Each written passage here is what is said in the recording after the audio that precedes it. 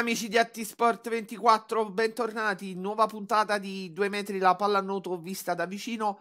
Torniamo oggi ad occuparci nuovamente della formazione femminile della Netafim Bogliasco 1951 e per parlare della compagine Ligure è un piacere accogliere nel nostro salotto virtuale l'attaccante del set allenato da Mario Sinatra, Giulia Lombella. Ciao Giulia, benvenuta, grazie di aver accettato il nostro invito. Ciao, grazie a te. Giulia, iniziamo la nostra chiacchierata dall'ultima uscita ufficiale.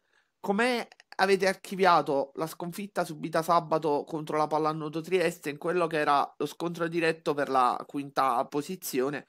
Un match che è finito 5 a 4 per le Giuliane che penso vi abbia lasciato un po' di amaro in bocca.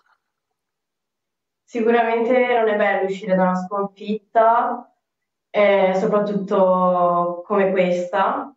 Eh, potevamo sicuramente fare di più, eh, non si può negare che i primi due tempi eravamo un po' più contratte, e, mm, mentre dal terzo in poi è uscito il vero Bogliasco, le Bogliaschine che non, non mollano mai, ci credono sempre e lottano fino all'ultimo finché non è finita la partita.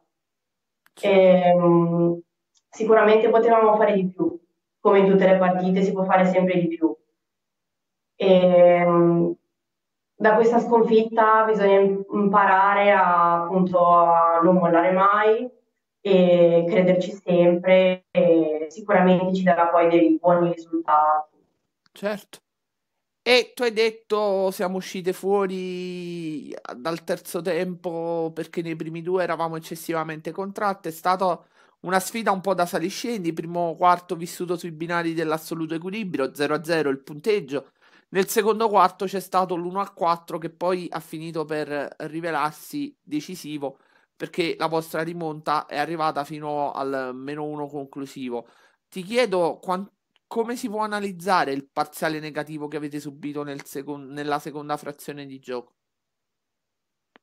È sicuramente difficile perché il parziale 4 a 1 nel secondo tempo è come iniziare una partita da capo, ehm, solo che appunto iniziando dal secondo tempo, quindi avendo solo gli ultimi tre tempi. Ehm, siamo state eh, brave però eh, nel secondo e nel terzo tempo a, a continuare a crederci a farci vedere e sfruttando tutti i loro diciamo, errori di fare questa rimonta. Poi potevamo anche eh, guadagnarci un pareggio, diciamo che anche sfortunatamente non è stato così purtroppo, ma mh, mm, cercheremo sempre di fare meglio nelle prossime partite. Da questi errori cercheremo di fare meglio. È indubbio che l'assenza al momento di uno dei vostri elementi cardine stia pesando. Sappiamo tutti che Paola Di Maria è box per un infortunio, una perforazione del timpano. Quanto sta pesando la sua mancanza nell'area dei due metri? Perché poi c'è Anastasia Riccio e credo che quando Riccio esca a rifiatare ci sia una sorta di turnover. Eh, si va, si va nella, in quella zona a turno. Sì, sicuramente non è per niente facile avere un boy in meno, un elemento come Paola, che ci dà sempre una mano e lotta sempre. E, um, d'altronde bisogna giocare anche con queste difficoltà e magari anche con questa, diciamo, nostra piccola eh, sfortuna, tra virgolette, eh, bisogna sfruttare certe, mh, mm, certi movimenti che sappiamo fare e che Mario ci, appunto, ci insegna per sfruttare queste piccole azioni, anche senza poi il boa. Certo. Vengo un attimo a una tematica un po' più personale perché sono andato a informarmi e po- potrei dire senza ombra di, di dubbio e di errore che Giulia Lombella è una sportiva a tutto tondo perché al tuo cammino dalla, da pallanotista unisci anche un'altra attività e adesso l'andiamo subito a scoprire. Ti chiedo come si intersecano nel tuo percorso sportivo i ruoli di pallanotista, appunto, e arbitro di calcio nelle categorie giovanili. Sì, eh, come hai detto tu faccio anche l'arbitro di calcio e per adesso direi che sta andando molto bene. E, cerco sempre di organizzarmi per incastrare tutte e due e infatti il sabato giochiamo eh, con appunto il Bogliasco e la domenica, ogni, ogni domenica vado ad arbitrare. E, è difficile perché è difficile, sono completamente due cose diverse, però è anche questo il bello, appunto. E nell'essere due cose totalmente diverse tra loro, qual è il punto in comune?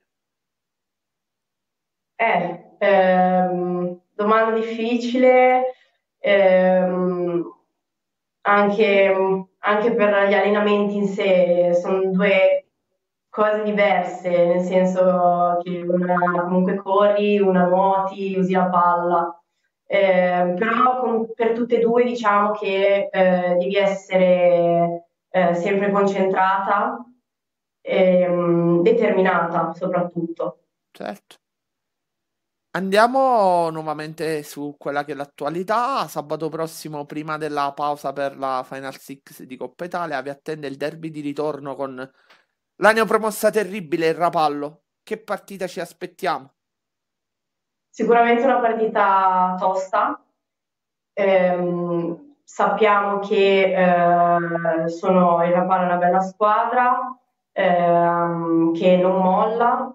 Eh, noi siamo una bella squadra giovane, eh, anche noi non molliamo mai, eh, cercheremo di sfruttare tutti i loro errori eh, per appunto eh, vincere questa partita e mh, mm, speriamo, speriamo bene, anche un pizzico di fortuna, magari a qualche volta serve e mh, mm, cercheremo di fare il, il meglio. Questa settimana sarà importante appunto per preparare questa partita. Chiudiamo con un'ultima battuta. Sei hai stata protagonista del recente raduno della nazionale Under 20 a Torino. Che tipo di onore è? Che tipo di mh, mm, orgoglio provi quando indossi la calottina azzurra? Eh, sono molto molto felice eh, lo aspettavo da tanto, è sempre stato un sogno, come penso tutte le ragazze che fanno pallanuoto. E, um, indossare la calottina è una bella soddisfazione e um, speriamo di continuare così. Ecco. Va bene, siamo così al termine della nostra chiacchierata. Ringrazio Giulia Lombella per essere stata in nostra compagnia. Do appuntamento ai nostri spettatori per la prossima puntata. Ciao Giulia, grazie mille. Ciao, grazie a te ancora.